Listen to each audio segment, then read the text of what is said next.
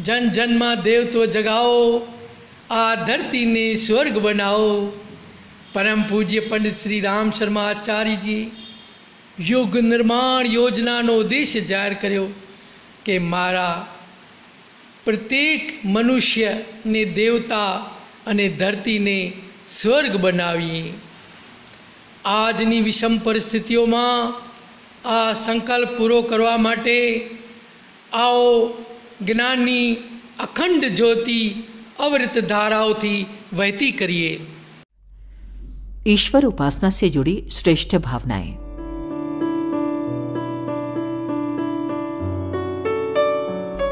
उपासना प्रतिदिन करनी चाहिए जिसने सूरज चांद बनाए फूल फल और पौधे उगाए कई वर्ण कई जाति के प्राणी बनाए उसके समीप बैठेंगे नहीं तो विश्व की यथार्थता का पता कैसे चलेगा शुद्ध हृदय से कीर्तन भजन प्रवचन में भाग लेना प्रभु की स्तुति है। उससे अपने देह, मन और बुद्धि के वे सूक्ष्म संस्थान जागृत होते हैं, जो मनुष्य को सफल, सदगुणी और दूरदर्शी बनाते हैं। उपासना का जीवन के विकास से अद्वितीय संबंध है।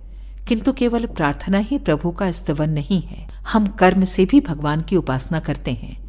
भगवान कोई मनुष्य नहीं है, वो तो सर्वव्यापक एवं सर्वशक्तिमान क्रियाशील सत्ता है।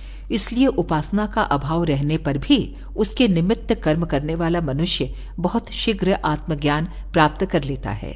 लकड़ी काटना, सड़क के पत्थर फोड़ना, मकान की सफ़ाई, सजावट और खलिहान में अन्न निकालना आदि भी भगवान की ही स्तुति है।